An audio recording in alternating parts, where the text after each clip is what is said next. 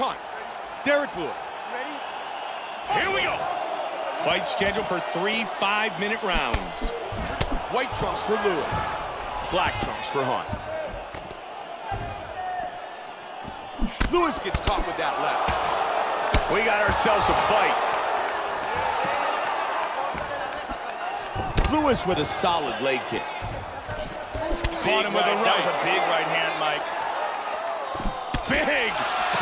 jab. Combination. Man, he just missed. Oh, oh, the knee. Big Huge elbow. elbow lands to the head. He is going after it here. He hurt him with that hook. There's a nice combination. Oh, that left hook hurt Big him. shot.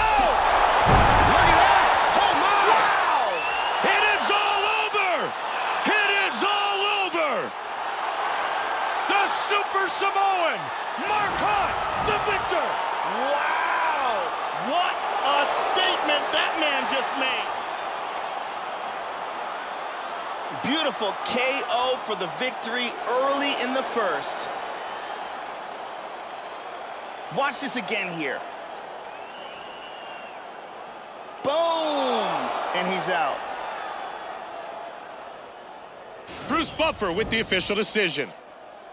Ladies and gentlemen, referee Yves Lavigne has called a stop to this contest at 1 minute, 22 seconds of the very first round. Declaring the winner by knockout, Mark Super Samoa Hunt! Mark Hunt, winner by knockout.